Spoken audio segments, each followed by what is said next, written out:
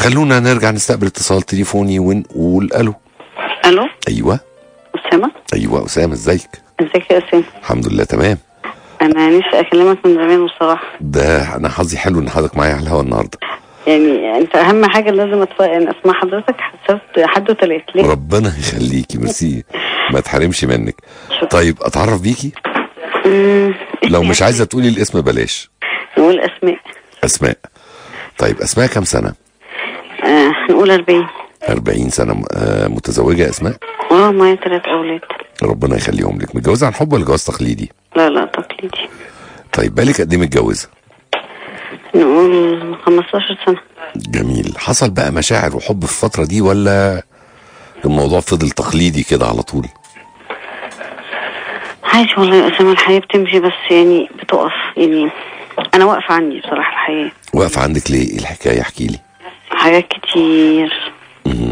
مش مرتاحة ومش مبسوطة وعايشة عشان ولادي وحاجات كتير والله يا اسامه طب احكي لي بس بالتفصيل كده واحدة واحدة وإحنا ندردش مع بعض ونعرف إيه الحكاية.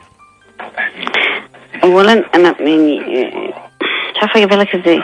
أنا اتجوزت جواز تقليدي عادي وخلفت وكنت هتطلق واتطلقت مرتين ورجعت مشاكل فاهم قصدي.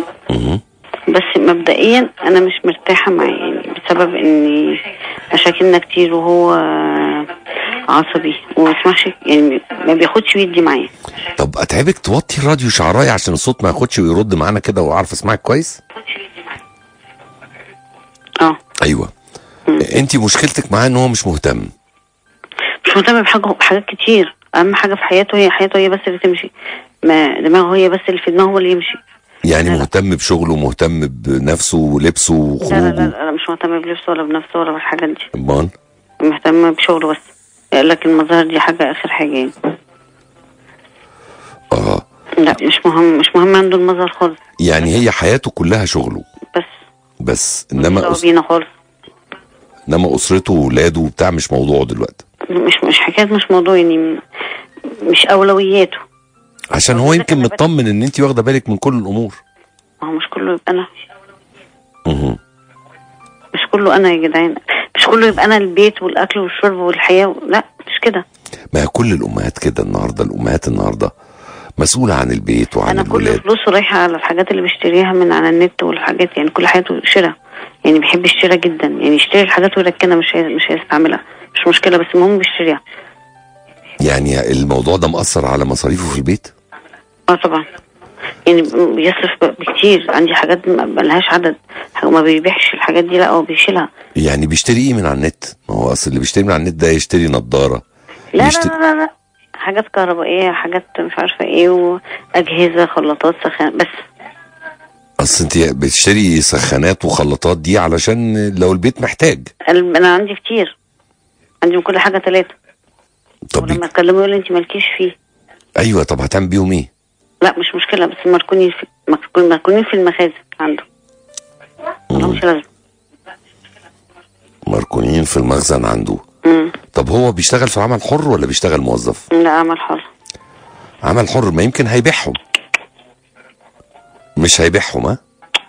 يمكن ولما كلموا كل- كلمت يعني حد من قرايبي وشافني. قالوا لي بيبقى مرض في البني آدم. أيوه ما لا يكون بيجهز عشان يتجوز. بقى ربنا أفرح؟ والله. أصل عمال يشتري في أجهزة كهربائية. طب بيشتري إيه تاني غير الأجهزة الكهربائية؟ كل حاجة. بوتاجازات. أهم حاجة في حياتي كده عندي كمية بوتاجازات. أنا مش عارفة أقول لك قد إيه. بوتاجاز أكيد بيكون دول وفي يوم من الأيام الأسعار هترتفع يقوم بايعهم مرة واحدة. قسم بقى والله العظيم أتمنى. هو بيتاجر في الأدوات الكهربائية؟ لا هو بيحب الأدوات الكهربائية. أيوه بس يعني أصل انت بتكلميني في يعني حاجة. ممكن ممكن أقول لك في الشهر صارف 200000 جنيه على حاجات ما لهاش لازمة. شوايات.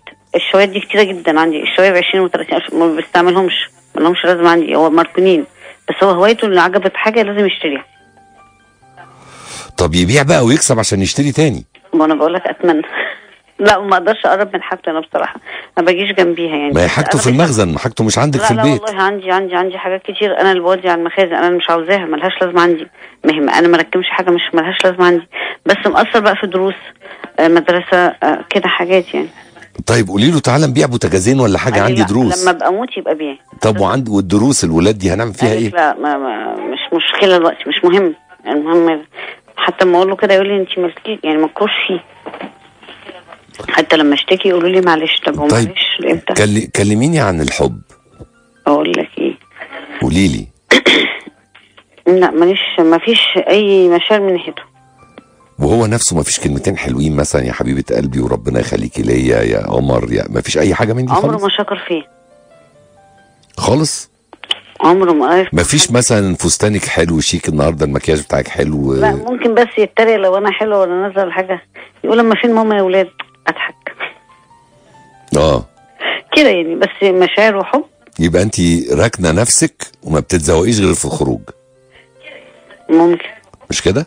والله بالعكس أنا يعني أنا بحب يعني بحب هو أيوه كل الأمهات كده في بيوتها تلاقيها مبهدلة في نفسها. ابدا. يعني تلاقي برضو إيه لابسة لبس ده ده بتاع الطبيخ انت فاهماني؟ وشكلك عامل كده ليه ما أنا بنظف؟ يعني أنا هعمل إيه؟ ما حد يجي يشيل معايا؟ ما هو برضو كل الستات بتعمل كده من أيام أمهاتنا يعني. بالعكس أنا والله يعني أنا بحب ابقى حلوة في بيتي يعني. ما تقوليش إنك بتنظفي البيت مثلا وانت لابسة جزمة بكعب. يا ريت لا بقى. مش كده ما بتوصلش لكده يعني. والله يا اسامه هو في حاجات كتير بس ما ينفعش أقولها على الهوا. آه يعني بس يعني لازم تهتمي بنفسك شوية. مهتمية والله. الحمد لله يعني أنا مهتمية بحب أنا أنا بحب الاهتمام ب... يعني بحب أبقى حلوة. أنا طول عمري بحب أبقى حلوة وأنا بنت.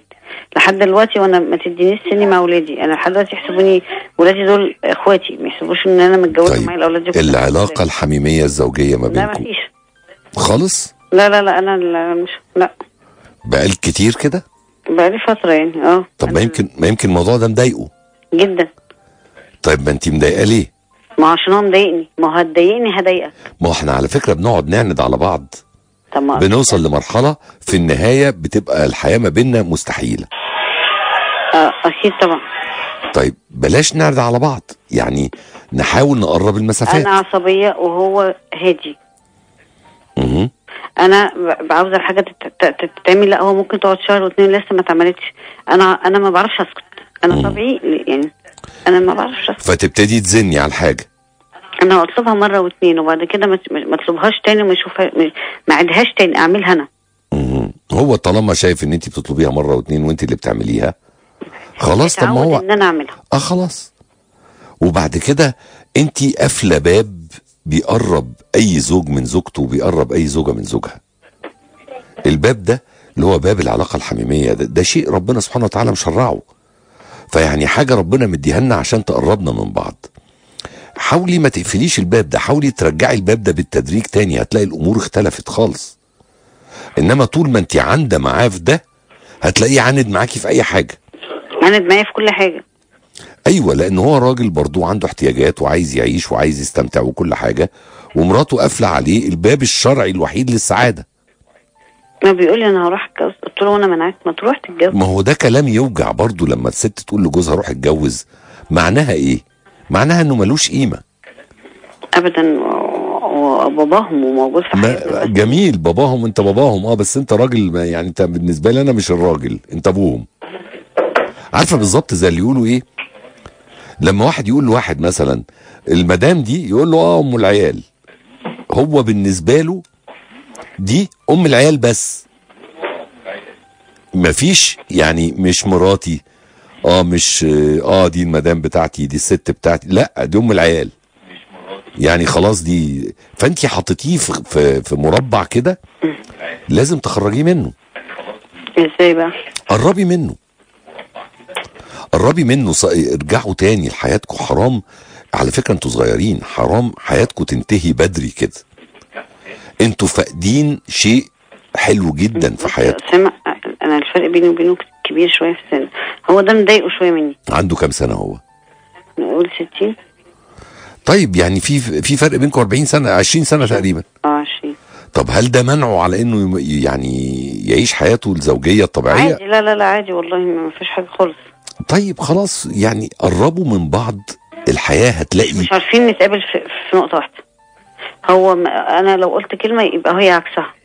أنا لو قلت كده يبقى هي عكسها. عمرنا ما اتفقنا مع بعض. وعمرنا ما يعني ما قعدنا أسبوع مش متخانقين. طيب ما تفكري تقولي عكس اللي انت عايزاه وتشوفي هو هيعمل إيه. مش كده؟